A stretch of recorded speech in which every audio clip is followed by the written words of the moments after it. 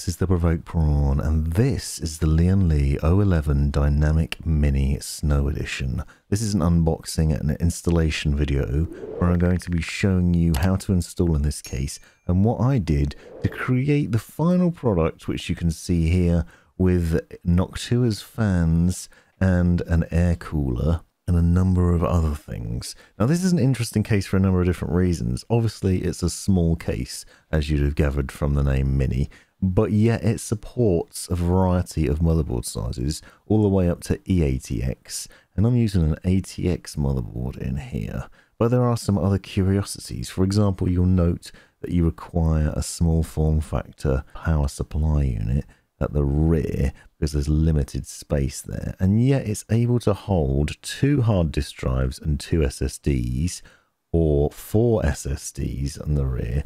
You can also install radiators for all-in-one coolers. And in this video, I'm going to be talking to you about those various different highlights.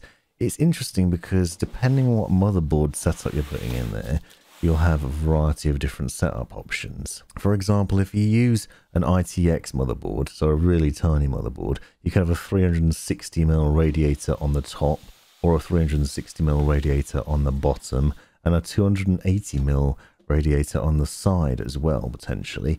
You obviously have liquid cooling options, but in this video, I'm obviously going to be showing you how to install setup with just air cooling. And the reason for this is because I purchased this case in the lead up to also buying the Lian Li O11 Dynamic Mini Air. So the Air edition of this case. I want to be able to do a different video on each and compare them as well. So come back for more in the near future and subscribe if you're not already to see that in action.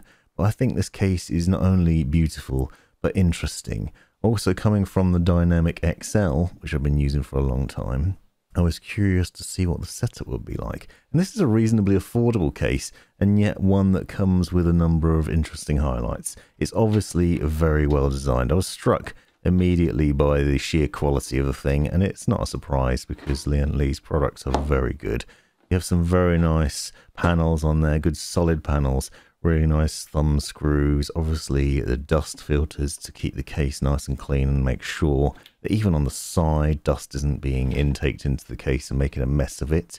You have a removable sort of panel at the rear that can be used not only to hide the cable shame but also for the SSD mounting. So if you have 2.5 inch SSDs they can be mounted on this plate here. So you can take them off, you can mount them on the front of it or the back so you can hide them away or you can have them on show.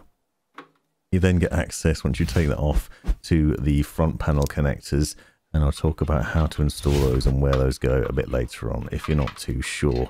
But you can see from the back here, fairly simple cable management. And what you will have seen at the beginning of this video is actually it doesn't get too messy back there, depending on what you're installing. Obviously, I'm not using RGB fans in this build, so that saves on cables and means it's a bit less hectic but there's still plenty of room back there, even for such a small case. And everything just comes off simply. Most of the panels are held on with thumb screws. The rear is and the top is. Once you take those off, you can then remove the tempered glass side panel and front panel to again get better access all around.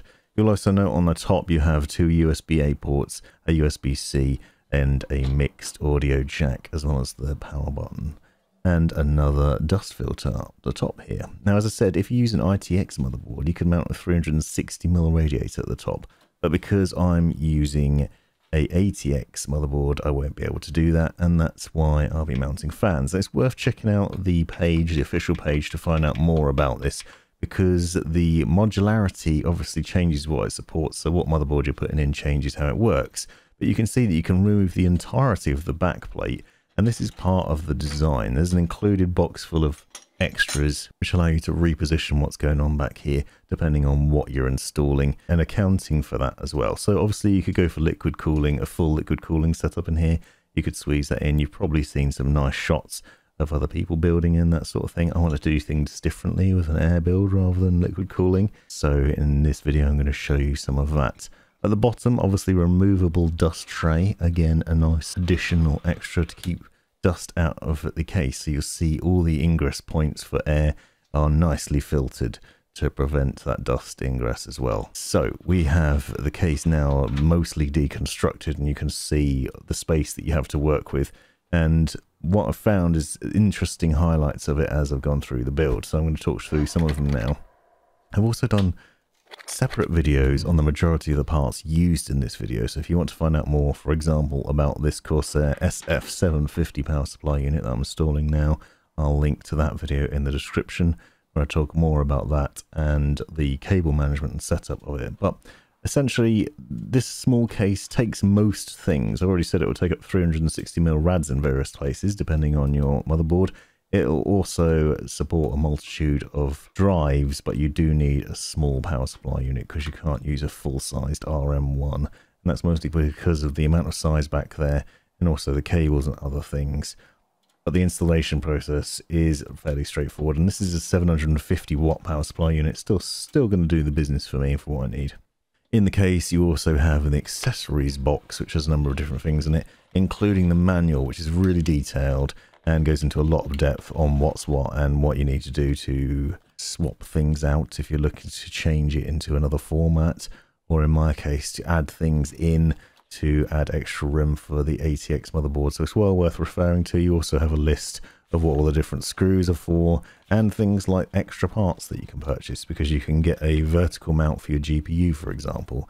You'll find bits in there as well that includes all the screws that you need the standoffs the screws for the power supply that you see me screwing in and other bits. You'll also find there are plates for brackets for your liquid cooling system. So if you have a pump and reservoir, you'll find there's standoffs and bits and bobs in there for that as well. So I can't obviously cover all the different things that are going on in here, but what I'm showing is that there are a lot of accessories and a very straightforward manual that talks you through what they all are and how to use them. So a very nice setup there and it's nice to see all these extras included and just the flexibility of even such a small case. Now as I said because I'm installing an ATX motherboard I do need that larger bracket.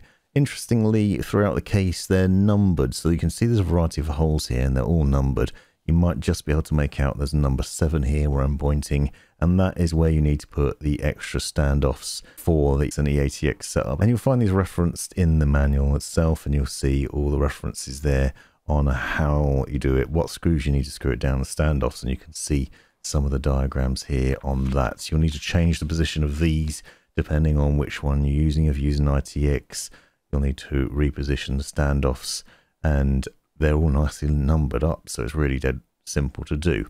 For my purposes, it's a really straightforward setup because all I need to do basically is to take this bracket out of its packeting and then pop it inside the case. It has some metal edging on it that slips into the back and then just basically screwing that down. What that does is it gives you extra standoffs that aren't present as standard. So obviously gives full support to the ATX motherboard and makes sure that it's held in place properly. So you'll find the screws are in one of the bag and you can use that to just pop that and screw it down and make sure it's held in place as it needs to be. So it's basically just attaching that bracket to the case and then you can put your motherboard into that and then obviously screw that down to the case itself and to this extra bracket. What you'll see also is a lot of room at the top and the bottom and round the sides. So even though we put this extra bracket in, we still have plenty of room to access the fans and to be able to manage the cables. There are some complexities to this process though, which I'll go into in a bit more depth in a little while. For example, the installation of the fans. My tip now is to get the motherboard in as soon as possible. You'll see why a bit later on, but I made the mistake of leaving the motherboard till nearly the last point in here. And because it's an ATX motherboard, you can see it just takes up quite a bit of room in the case. There are still points of access at the top and bottom where there's holes putting in the cables, but it does become tricky. So now if you're looking to install hard disk drives or SSD drives, then you have a, couple of options. As I said, you had that plate that you can remove, but you can also get access to these trays. So there's a couple of points here that you can unscrew, and then there's a small screw at the bottom that you move across, and that releases the latch that then lets these trays out. In these trays, you can either install two flatter hard drives, 3.5 inch hard drives, and you can mount them with these various screw holes, or you could put two 2.5 inch SSDs or a mixture of the two. So you have the choice depending on what you want to do and if you're adding these sorts of things in. I'm just using this for demonstration purposes, but it's nice that you have the potential, even in a small case, to have two large hard drives, two SSDs or four SSDs, depending on your setup and what you want to do with it, as well as obviously NVMe storage on the motherboard as well. So there's loads of different options here and it's a straightforward caging system and you'll find reference to what screws you need in the manual I showed earlier on. So basically just making sure screw down four screws into this tray to hold it into place. Now you can mount the SSDs in here as well. Alternatively, and the process is basically the same. You're just using screws to hold it in place and make sure it's steady in there and then slipping it back into the cage. But quickly to demonstrate all the cables you need to plug in, in case you don't know, you'll find with your motherboard you should have a SATA connection cable. This will plug into the hard drive and then into your motherboard and I'll show you where later on. And then you'll need a SATA power cable as well, which will plug into the power supply unit on one end and into the hard drive or SSD on the other.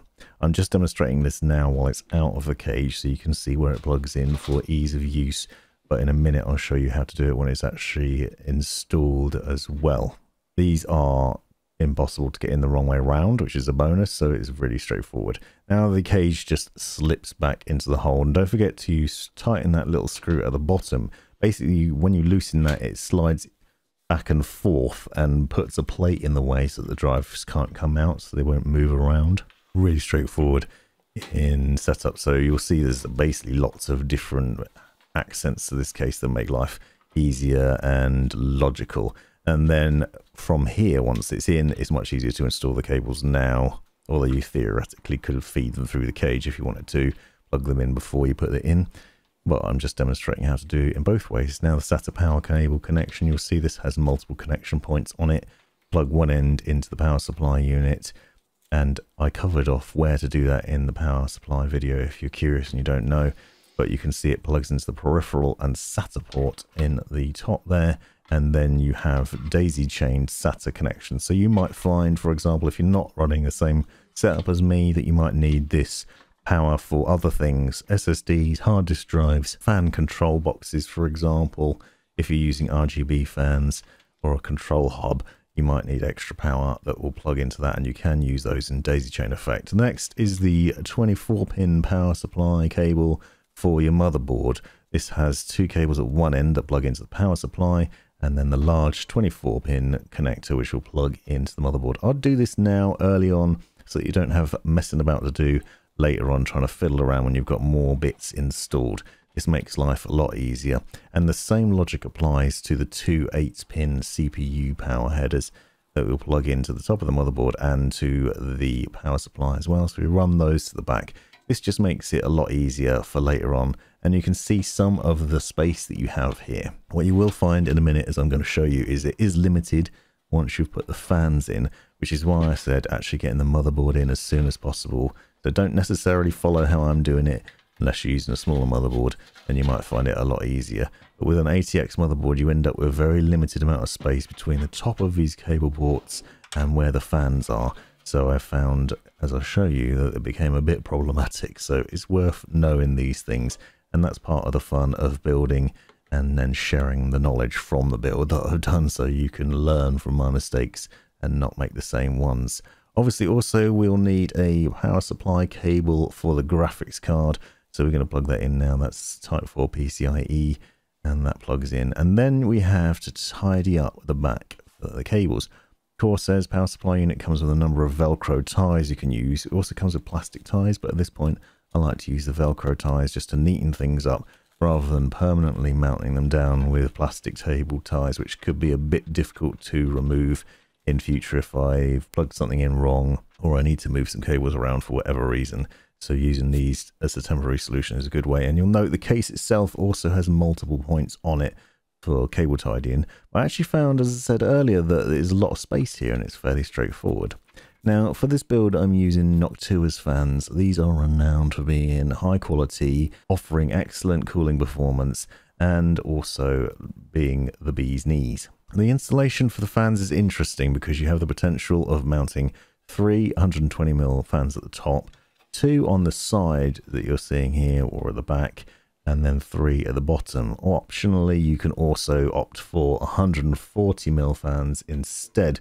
So there are a variety of configurations that you can do there. For example, in this mode with ATX motherboard, you can put two 140 mil fans at the top, two on that rear panel, and two on the bottom as well. So there's plenty of flexibility in how you do it. But for this case, I am using 120 mil. And I found it was curious when I started mounting these in here as well, because when they're mounted on that back bracket, it looks like you should be able to fit three on there, but you can only fit two. This is partly down to the variety of different radiator support options that you have. For example, you can mount a 280mm radiator on that back plate, as I said. So what I'm doing is I am mounting the fans, pulling air in through the bottom and exhausting out through the top and rear. I'm setting them where they're facing down to the bottom of the case, which means they're pulling air up through them and then pushing cold air into the case and hopefully over the components and then eventually running hot and going out the top you have a variety of ways to install the Noctua fans because they come with rubber bungs that you can use in place of screws to reduce vibrations and noise, which is a nice option. And there's only a single cable from each, but you do have some adapters that I'll show you in a minute. I'm going to do a separate video on the installation of these, but I'm going to talk you through the process now in case you choose to use them. You may opt for some RGB fans or something different. I want to use Noctua fans for cooling purposes, especially for the air build that I'll be doing in the Air Mini at another point in time.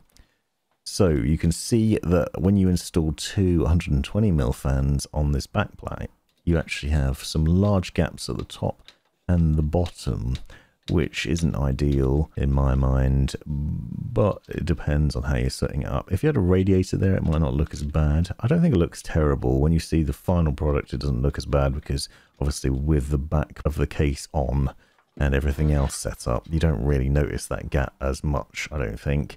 And obviously you could also reposition them to your personal preference as well. It gives some flexibility, but the fact that you can have 140mm fans there instead those might fill it up a bit more and offer up a better look and feel. Again, what I'm doing here is I'm pulling cold air in from the back, so I'm pulling in cold air in from the bottom and from the rear, and then I'm setting it up at the top to exhaust through the top of the case. So I am setting these fans, making sure to be careful that the cables from the fans run into the back. Now, it's one thing I've noticed that these Noctua fans don't come with any sort of fan controller.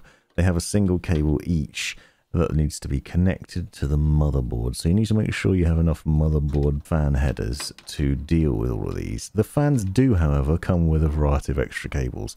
You'll see there's a low noise adapter, for example, that knocks it down from 2000 RPM to 1500 RPM max, which keeps things a bit quieter.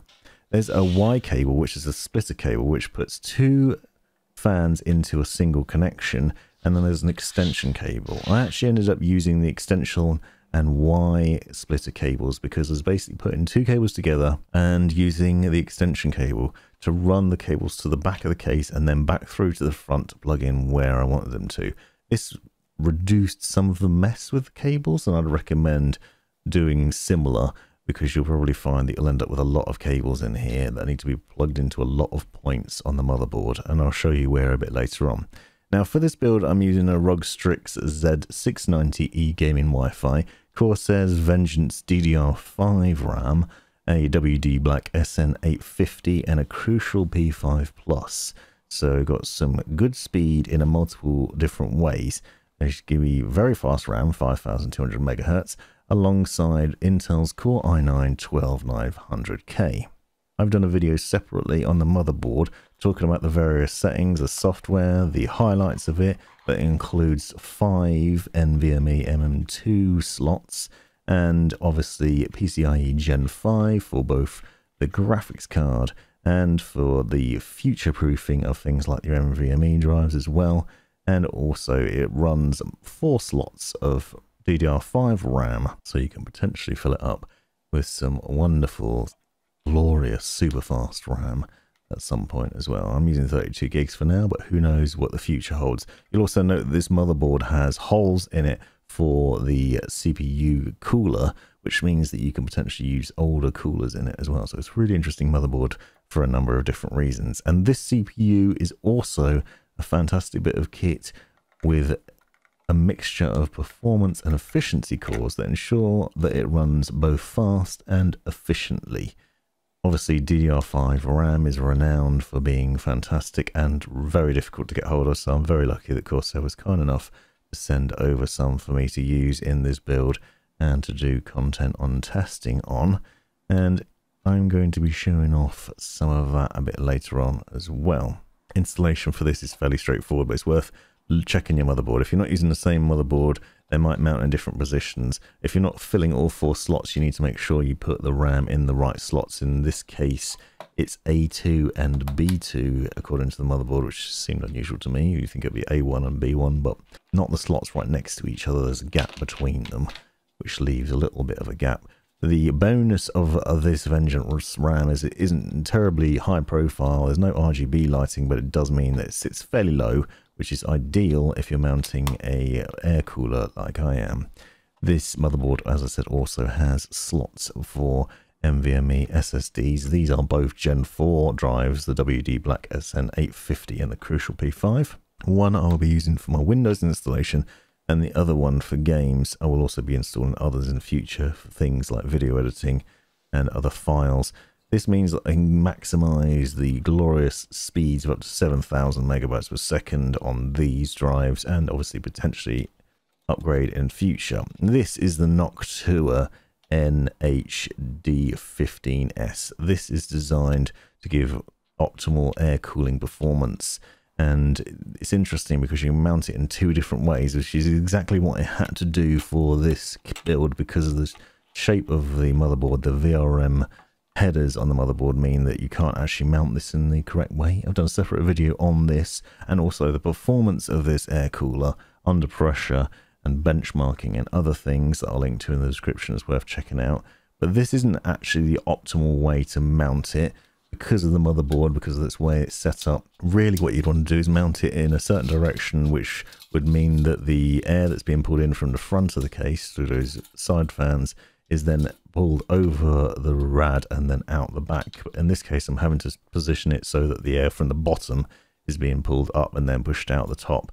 It's not the ideal position, but it does still work and it looks magnificent. And the thing that's interesting about it for me is that it's so huge and yet it fits in that tiny case. You'll have seen from the shots at the beginning and as I go through this process of installing it that it is massive. It sits really high off the motherboard and yet it fits in this tiny mini a case from Lian Li in a nice way. There's also a configuration tool from Noctua that you can use to check whether your motherboard, RAM and case will support the cooler that you want to buy. So that's well worth looking at. And again, I referenced all of this in the installation video that I did separately on this. So please check out the link in the description if you're curious and want to find out more about it.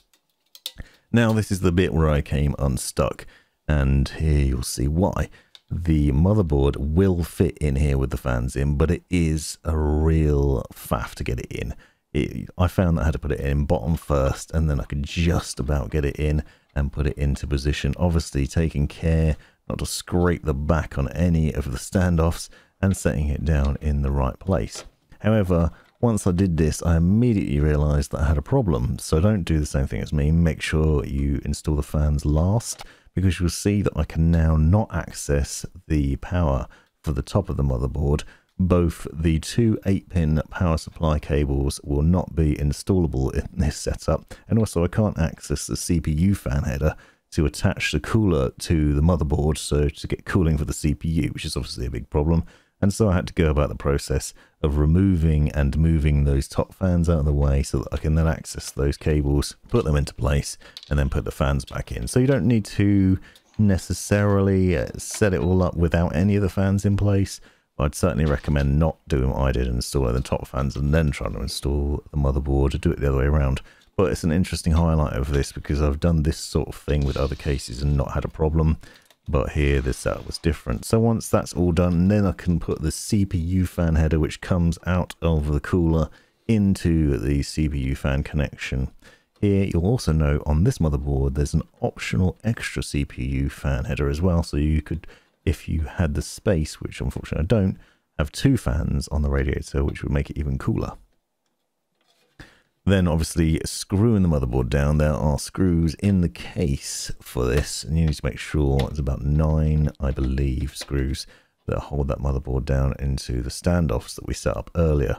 Remember the back plate that we put in, those standoffs will ensure that the entirety of the motherboard is held securely in place and obviously that it doesn't slip or slide around once it's set down. You can see I also have some of the cabling for the fans set up and ready to go. You'll note just how long it is with those extra extender leads. Now we have the two 8-pin CPU power connectors from the power supply unit to be plugged into the motherboard. Plug those in at the top. And now I have a lot more room without the fans there. But you get an idea since I'm putting my hand through the fan tray just how limited the space is. The good news is once they're in, and then when you put the fans back in, there's no problem with the cables touching the fans, it's just the installation of it which is a bit of an issue. I found there was enough room for it once I'd done this and actually set it up properly with the cables installed. I could get the fans back in no problems. On the right hand side, the 24 pin cable for the motherboard that I previously set up is now ready to be plugged in and it's obviously one of the most important cables to plug in and then I want to talk to you about the front panel connectors. So I showed these a little bit earlier on, but we basically have this large USB connector for the front panel USB. That's the USB-C connector, and I'll show you where that goes in a second. Then you have the front power connections and the HD audio. So all of these will be run through to the motherboard and plugged in in a variety of places. I'd recommend checking out your motherboard manual to find out where these are. But the USB-C one, for example, looks like this, plugs in near the 24-pin power supply unit cable. Make sure you plug that in. And the USB-A will also plug in next to that. That is the big fat one that you can see here. You set that in and plug that in there. Those are usually in the same place around the 24-pin uh, power supply cable, so it's fairly straightforward into where they are. Things get a little bit more fiddly with the front panel power connections. And you can see the SATA cable for the hard disk drive comes through and plugs in here. It's worth noting that some motherboards, if you're using M2 drives, disable some of the SATA ports. So if you find that your hard drives or SSDs aren't working, it's worth checking the manual to find out which ones are disabled because I've had that happen quite a few times in the past. Front panel connections for the power connect down the bottom there and HD audio on the left hand side. So one is on the right and the other is on the left. Now at the back you can see what I was talking about with the extension lead. So I've run the wire splitters from the various cables. So most of the fans in the case are now taken from two fan cables into one single one and I'm then running an extension lead. And this is because the fan headers on the motherboard are limited. There are a limited number of them, which makes plugging them in tricky. It's also worth assessing where you're going to plug them in because you'll find that the positioning of them is also difficult. I had a bit of a struggle with mine, as you'll see. And things can get quite messy because you've got quite a lot of cables.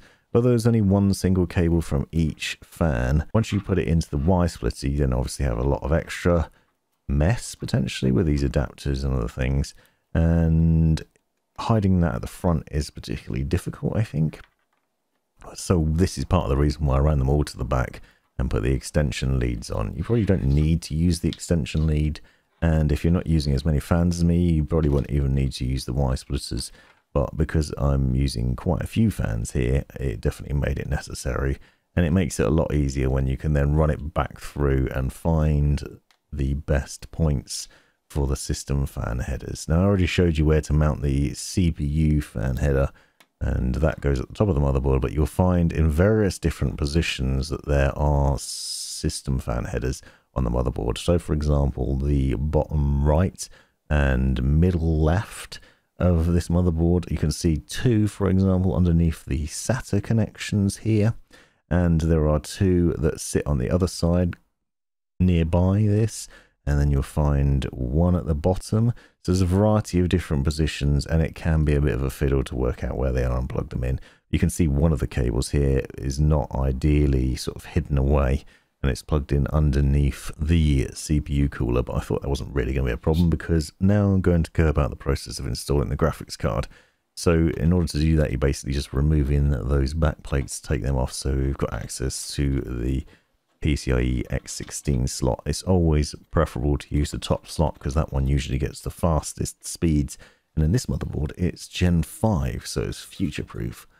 So we're then just plugging the graphics card in here. I have a 3060 Ti Founders Edition card, which I'm using for this build, and that just slips into place nicely. Another highlight of this motherboard is it has a quick release button for the PCIe slot as well, so you can just press that and pop the graphics card back out if you need to. We use the screws that were on those plates to then hold it in place, and then we have a PCIe cable that we plugged in earlier to the power supply unit, and that runs into here and plugs in.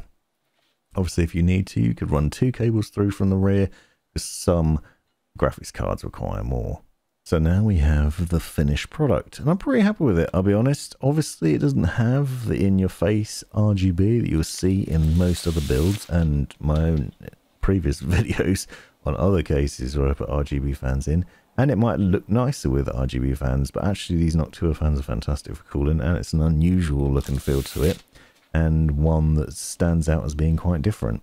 I am going to be reusing most of this setup in the future in the Air Mini once that's arrived because I'm still waiting on it as it's been delayed like all things in the last couple of years. But here you are. Let me know what you think in the comments and please, if you've got any questions, please let me know. I'll try and help out if I can. But this is a fantastic case with loads of different options for installation plenty of room for different setups in terms of radiators and fans and all sorts of sizes. And it gives you loads of different options. And for such a small case, it's really capable. Just look at the size of that cooler, for example. This has been the Provoked Prawn. Thanks for watching. This has been The Provoked Prawn. Hope you found this video useful, interesting, hilarious, or otherwise. Take a look at these other videos that I think you might find interesting as well. And have a look at the description for links and other information you might find useful. Click that join button to see the benefits of being a member of my YouTube channel. And most importantly, have a great life.